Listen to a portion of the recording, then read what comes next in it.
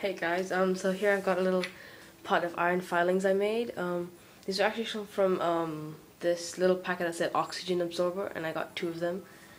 Um, I kind of put them in water at the beginning, and um, some of them, as you can see, is a bit rusted. Yeah, um, but they're actually still magnetic, see? All of it. Um, but and what's really interesting is if you put the magnet on it, change what it looks like. It creates these spiky, this spiky effect. I honestly have no idea. And it actually holds the magnet. As you can see, I'm using a neodymium magnet, so it's pretty strong. It looks really cool. Um, let me just change your angle there. Hopefully none of that falls over. Um,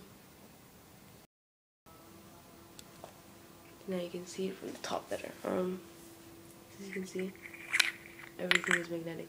Now if I move the magnet away a bit, it's, it's actually still got its effect, but just not as much. Here, everything sticks to it, but from here, you see that? Uh, whoa, it looks really cool. Um, it's actually got spikes standing up. Unfortunately, from your angle, you can't exactly see it, but if you just take it off, I think I might be able to show you guys.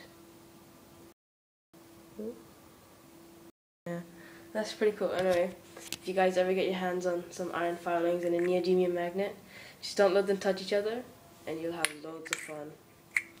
See ya, guys.